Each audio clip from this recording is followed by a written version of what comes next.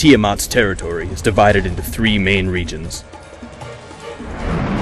Tiamaranta, where the Balaur reside. Gelkmaros, which was conquered by the Asmodians. And Inggison, which we've captured. Right now, Inggison Illusion Fortress is being used as the headquarters for our assault on Tiamaranta.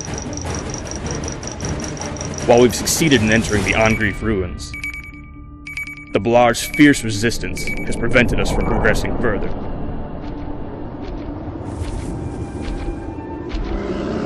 I need you to keep the Balaur occupied on the ground, to give us time to prepare the battleship Eulos. Once the battleship is ready,